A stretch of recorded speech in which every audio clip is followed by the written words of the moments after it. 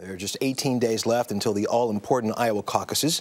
The candidates are mapping out their strategies for the final days when the first votes will be cast that could pare down the number of Republican hopefuls. Correspondent Whit Johnson is at the White House with the latest developments. Whit, good morning. Russ, good morning to you. Frontrunner Newt Gingrich is taking a couple of days off for family events, telling the New York Times he's, quote, pacing. In his absence during this crucial campaign stretch, other candidates are looking to steal some momentum. Heading into the weekend, most Republican candidates jockeyed for FaceTime with Iowa voters. Okay, that'd be great. Not Newt Gingrich, who's still the national frontrunner, but faces a confident Mitt Romney not far behind. I vetoed that bill. After another solid debate performance, Romney picked up a key endorsement Friday from South Carolina Governor Nikki Haley. He's already a leader that knows what he wants to do the first day that he gets into office, and he's ready to do it.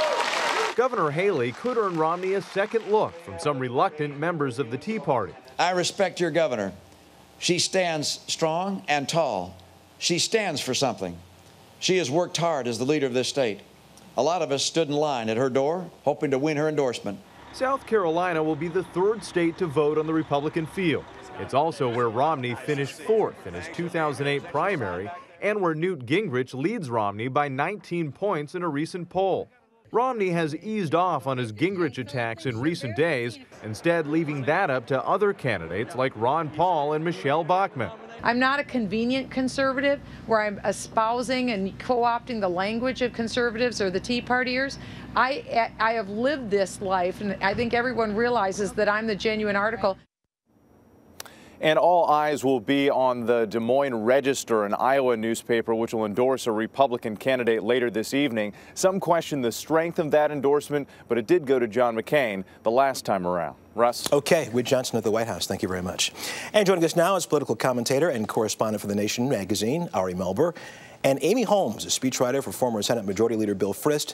She's an anchor of GBTV's The Blaze. Good morning to both of you. Good morning. Good morning. Newt Gingrich got that swagger thing going on. Not even campaigning in, in, Iowa this weekend. What do you think, Amy? Is that overconfidence on his part? I don't think it's overconfidence. I think it's strategic. And we discussed before that one of Newt Gingrich's liabilities going into Iowa is lack of money, lack of organization. So he needs to raise that money, get those dollars, so that he can control his message. Because re remember, Mitt Romney has a pretty fat checkbook, and he can write those checks to put up those ads. And Newt Gingrich can't just rely on all this great earned media he's getting. He needs to be able to control and shape his message to those Iowa uh, GOP primary voters. Ari, if you look at the polls right now in Iowa, it, it's, it's, it's Gingrich, it's Romney, it's Ron Paul. Let's say Ron Paul pulls out a miracle, only at 9% right now, but becomes in second place. Mm -hmm. Could that jumpstart his campaign, or do you think he would only be an Iowa phenomenon in that respect? Well, I think Ron Paul has a very strong base that he's building. Uh, he's on the front page of the New York Times today talking about how strong his field operation is. Uh, and in Iowa, of course, people say they've heard more from his campaign than any other.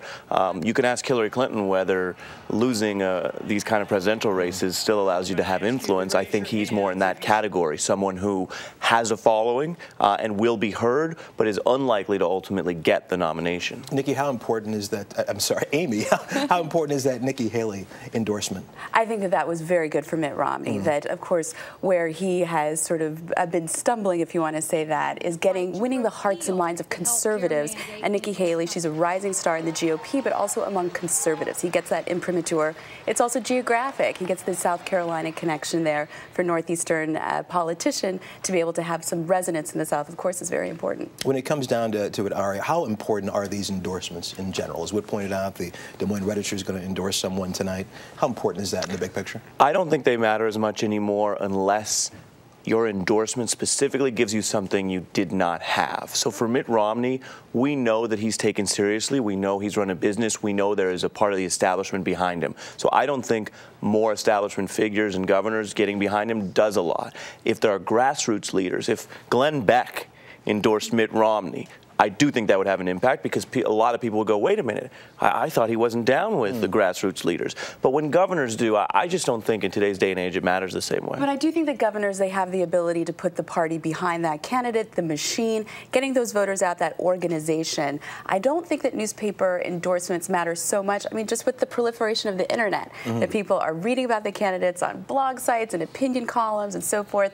National Review, of course, just came out with their editorial about mm. Newt Gingrich, but people are getting information information from so many sources shaping their opinions. But I think that very practical campaign, uh, that, uh, that that material can be very important to a politician. Okay, good stuff as always. Amy Thank Holmes, you. Ari Melber, thank you so much. Thank you. It.